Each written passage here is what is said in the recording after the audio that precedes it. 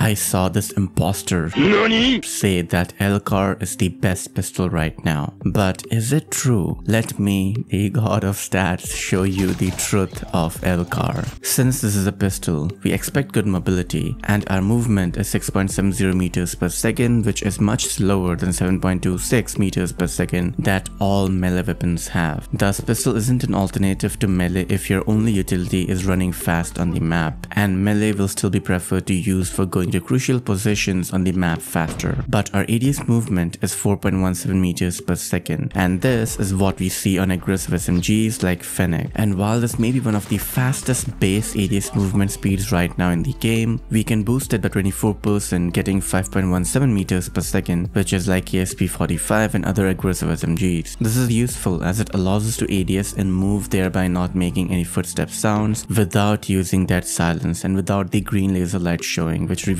our position. It is very useful for playing stealthily and pushing spots on the map discreetly. And now is a good time to leave a like and a comment to help support the video. Our ADS speed is fast at 11 frames and for comparison aggressive SMGs usually have 13 frames for their ADS speed. So it's just slightly faster than them and our sprint to ADS to naked eye will look instant as 3 frames in 60 frames per second is like 5% which is a very small number and 8 frames for sprint to hipfire is on the faster side as aggressive SMGs like MAC-10 and Fennec have it at 12 frames while KSP has it at 11 frames. This puts forward the question if sprint to fire attachments are worth using but more on that later. Our fire rate is 720 rounds per minute which is faster than some of the meta guns like Kilo 141 and similar to Peacekeeper and AMAX but unlike these weapons the LCAR is not at all versatile as we will usually have 5 shot kill till 6.1 meters with 333 milliseconds time to kill hitting all leg shot and there is potential for faster time to kill as our hitbox is divided into below the waist, above the waist and head. So potentially we have 4 shot kill with 250 milliseconds time to kill if and only if we hit all 4 out of 4 shots to the upper body which commonly in 6 meter range we may be hip firing. So chances of 333 milliseconds time to kill is likely but if you can ADS and maintain good aim then 250 milliseconds is possible. But it is going to be hard because people are jumping and sliding around and it only takes one bullet to lower the waist to drop a time to kill by 83 milliseconds and that is the punishment for missing shots making LCAR a high skill weapon and punishing to use. Our next range is still 12 meters and technically we have 6 shot kill hitting all leg shots with 417 milliseconds time to kill but only one shot to upper body is all it takes for a 5 shot kill which is going to be easy to get thus we can maintain 333 milliseconds time to kill till 12 meters no issues. Beyond 12 meters we have infinite 8 shot kill range with 583 milliseconds time to kill which is very punishing to use as there are many guns which can maintain around 250 milliseconds time to kill till 20 meters and beyond. So LCAR is completely outclassed and don't even think about using this beyond 12 meters. And there isn't much hope for faster time to kill as 7 shots is going to be inconsistent due to poor ADS bullet spread. Cover more on this in a bit and the 7 shot time to kill is 500 meters per second which is still slow and we will get outgunned by pretty much any other gun. So our effective range for using this weapon is still 12 meters and that's it. Now some may be thinking, oh I can just range boost and stonks but the only worthy attachment for range boost gives us 7.2 meters and 14.4 meters as the first and second range which is better than before but 7.2 meters is considered hipfire range and our usual time to kill will be 333 milliseconds which is the same at 12 meters as well. Thus range boost does not help this first range and 2 meter difference is barely anything as just a simple slide will help create more gap between us and the enemy so 12 meters is enough for getting out of sticky situations which is when we usually use pistols that is when we don't have ammo in our main weapon and by taking advantage of our fast mobility we can get a kill on the enemy in 12 meter range and exchange the pistol for a main weapon and then we have free overkill perk advantage without overkill and finally have stonks. So range boosting isn't viable for this weapon and the other range attachments give worse mobility which isn't worth using. Don't forget to share this video on your social media so more people can see it. We get 20 bullets in base mag which is plenty to get 2 kills on average, even 3 kills sometimes. And we take 1.1 seconds reload cancel when doing the standard reload, which is when we reload while still having ammo in the mag. And 1.1 seconds is pretty fast already but we can boost it further by 30% using attachments giving us 0.8 second reload cancel, which is one of the fastest in the game. And weapon switch times are fast as expected of secondary weapons. One thing to note, using two attachments for better reload speed may not give give us an optimal build, but more on this later. Iron sights are pretty clean and usable and optics are not needed and recoil may be considered bad by most people as it has strong pull towards right when we start shooting and it ends up changing direction and going diagonally towards upper left after shooting like 16 bullets. So if using base mag just stop shooting around 16 bullets and you'll be fine. Otherwise if using extended mag then you can learn the recoil pattern after 16 bullets or just stop shooting maybe do a slide and start shooting again. As someone who mained the older Peacekeeper and older BPSH when both of these guns had terrible recoil patterns, LCAR recoil is nothing special and quite easy to get used to,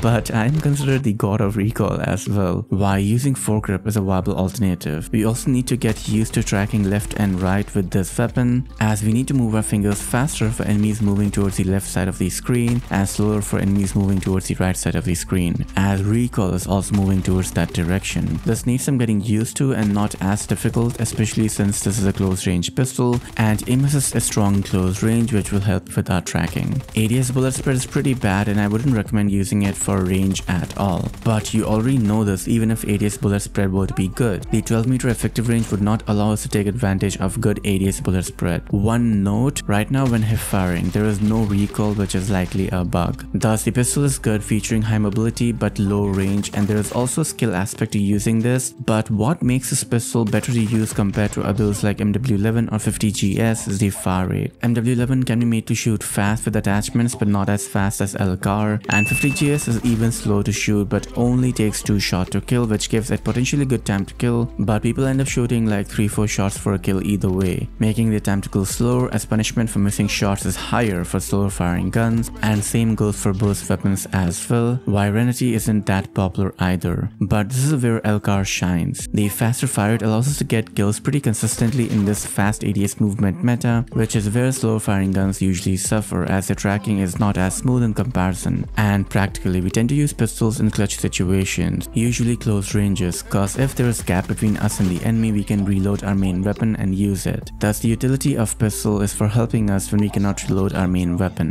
Why 12 meter range isn't a huge drawback. Personally I did not think I was at a disadvantage playing within the 12 meter range as the fast ADS movement allows me to dodge enemy bullets and 333 milliseconds time to kill along with fast fire rate is like main weapon. Although 333 milliseconds is slower compared to other guns which have fast time to kill, but we also have faster mobility to compensate. COD Mobile can boost this 12 meter range slightly to like 16 meters at best, but boosting it too much will make the gun unbalanced. For snipers who use pistols for clearing hit markers, they can also use the LCAR, no issues. By the way, do join a Discord server for finding the best gunsmith builds. Coming to best attachments, only agency suppressor is worth using for muzzles. Integral suppressor might seem enticing but agency is better. Optics is up to you. I will prefer using iron sights. And for stocks, I don't recommend the agile stock. Coming back to the question I had mentioned earlier, is sprint to fire attachment worth using? Usually we use them for having fast reactions in hip fire situations and testing these attachments. Marathon stock made the sprints to hip fire faster by only one frame. Same with the red cell foregrip. So combined we get 2 frames faster sprints to hip fire at 6 frames for the drawback of maybe not having an optimal build. The ADS capability of this gun is very strong. Pretty much instant sprints to ADS while having fast ADS speed. Thus, if you can go into hipfire from ADS, we can bypass sprint to hipfire completely without needing to use any attachments for it. I personally do this frequently because I have this habit of tending to ADS even in close range situations. And going into hipfire from ADS will be faster because we can cancel these sprints to ADS completely, 0 milliseconds, and I cover more on this topic here. But a common way to do this is jump ADS and then move into hipfire if needed. Also having separate fire buttons is an advantage as we can shoot without needing to complete the ADS animation which will give us faster reactions. We can cancel into hipfire from ADS while sliding as well but there's a delay that happens which may be a bug why jump to ADS and then hipfire will be preferred. And if you do this then building a gunsmith for sprint to fire is completely pointless why I don't recommend attachments for it as LCAR works better for ADS why adjusting a playstyle will be good and playing to the strengths of this weapon is for the better.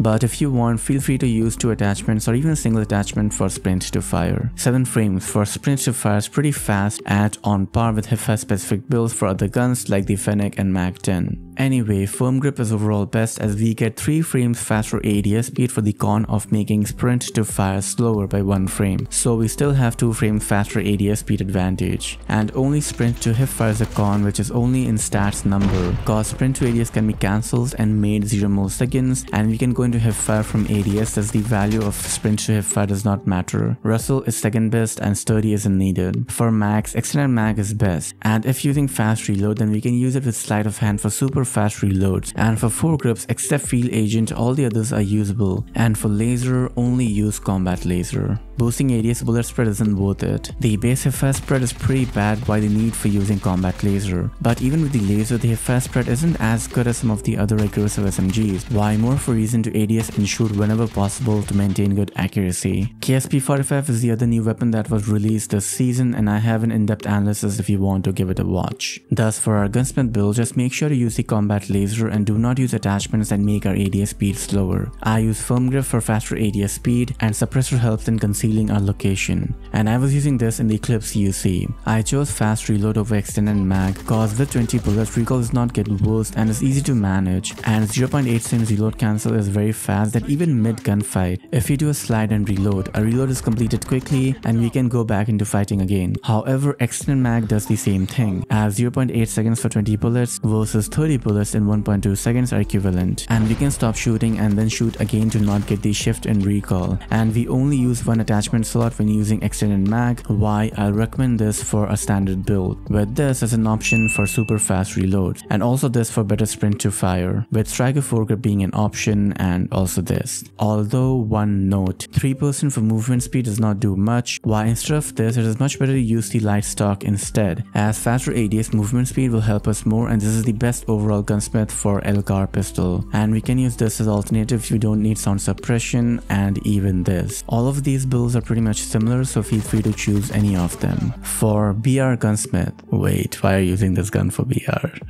like, comment and share to help support the video and bye.